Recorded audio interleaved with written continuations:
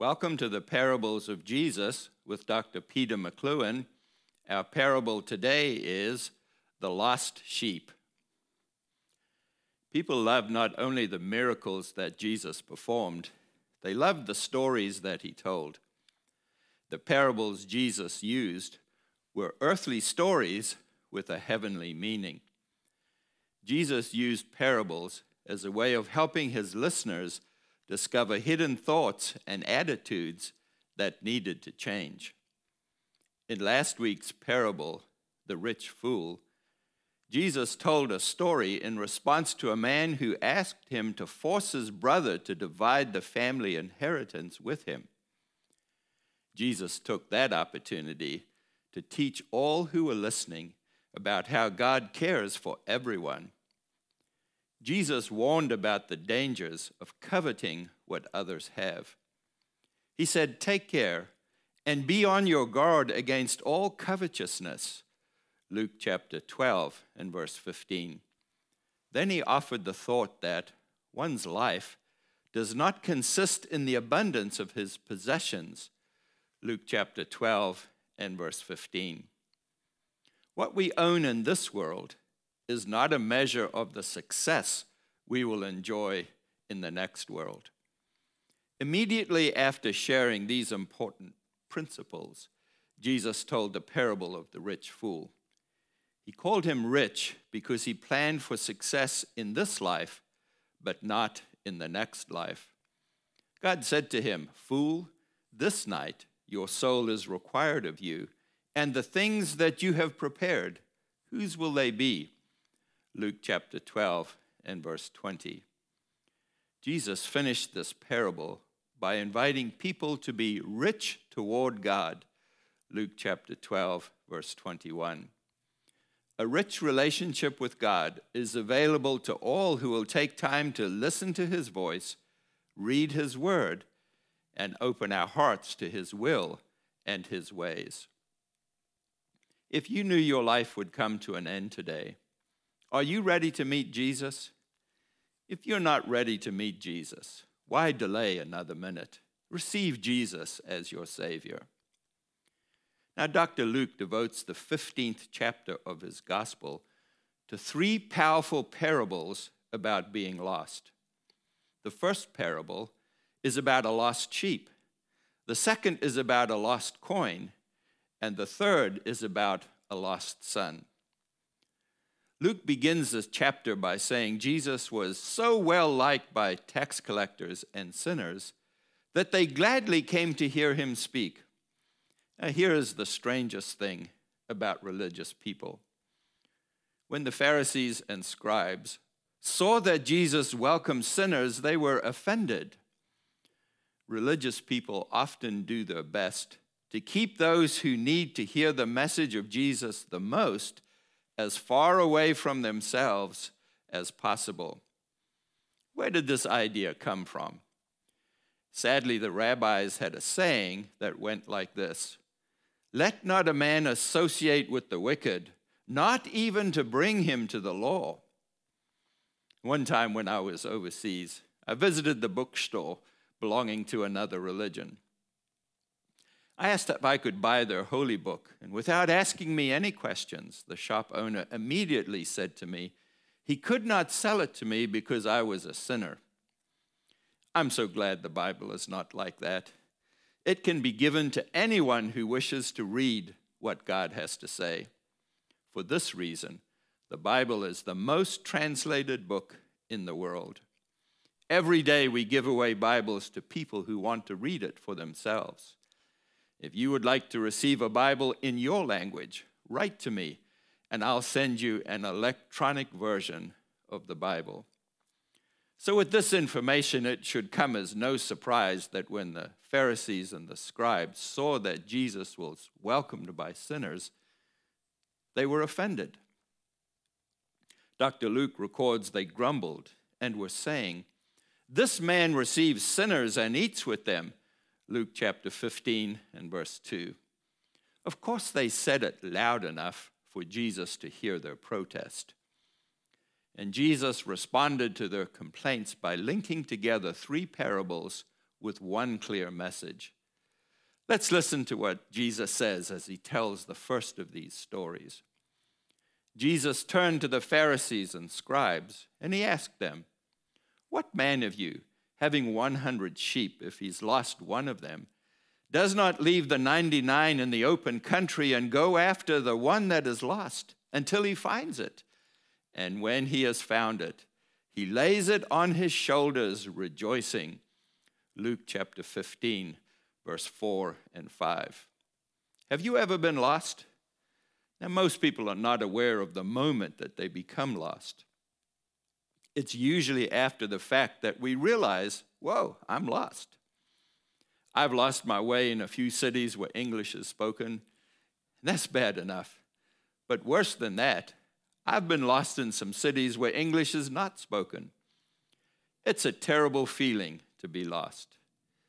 If you've been lost, you know exactly what I'm talking about. Let's take a moment and ask how do sheep get lost? They get lost by looking down, by not staying connected to the flock, by not staying close to the shepherd, and by seeking their own satisfaction. Strangely, people get lost spiritually in exactly the same way. They look down and not up to God. By not staying connected with a spiritual community, and by not staying close to Jesus, who called himself the Good Shepherd. If you're lost, the good news is that God has never been lost, and he knows the events that cause people to lose their way.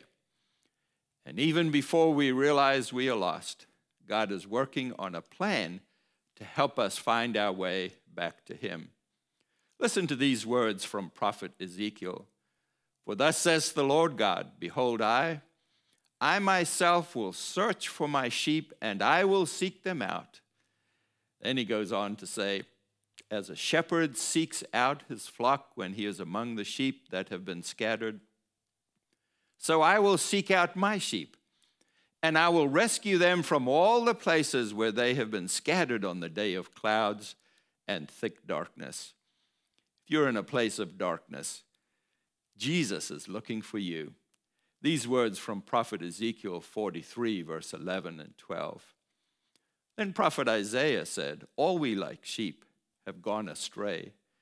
We've turned everyone to his own way, but the Lord has laid on him the iniquity of us all. Isaiah 53, verse 6.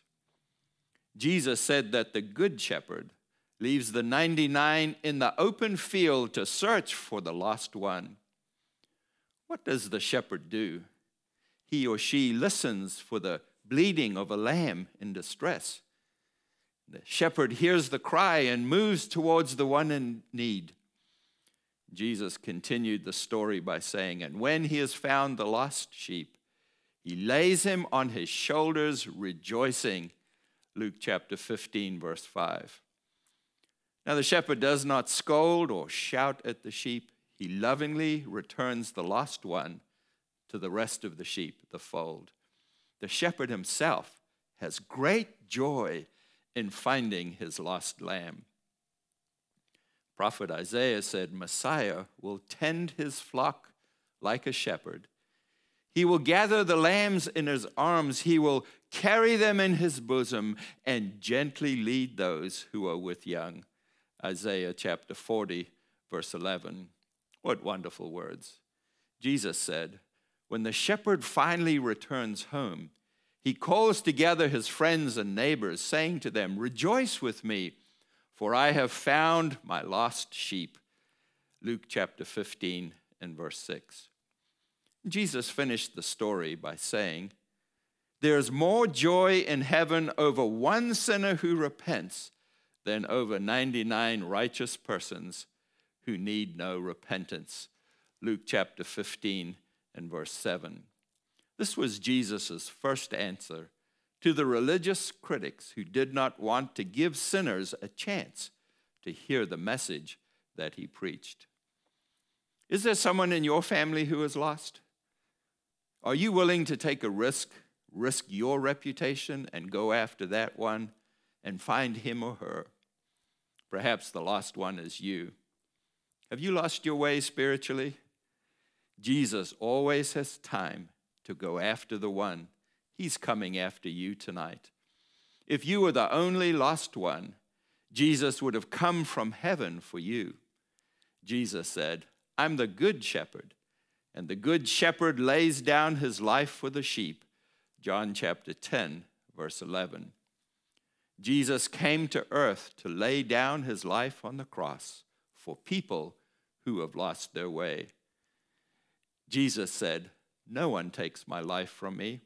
I lay it down of my own accord. I have authority to lay it down, and I have authority to take it up again.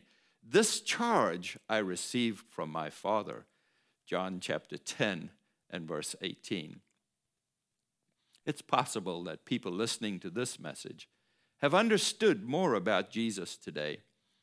We invite you to allow Jesus to become a good shepherd to you. Let him carry you on his shoulders. Turn to him for salvation. Say with me, Thank you, Jesus, for dying for me in my place on the cross. Come, Holy Spirit, and fill each one who has prayed this prayer with your presence. I can hear angels rejoicing in heaven over your decision to follow Jesus. Write to me and tell me what God has done for you. Next week, we'll continue learning from the parables of Jesus. We hope this message has filled you with living hope in Jesus. If you would like to talk with someone about your spiritual journey, please leave a comment or send us a private message. We enjoy reading your notes and having an opportunity to pray with you. If you received a blessing through this message, please share it with others.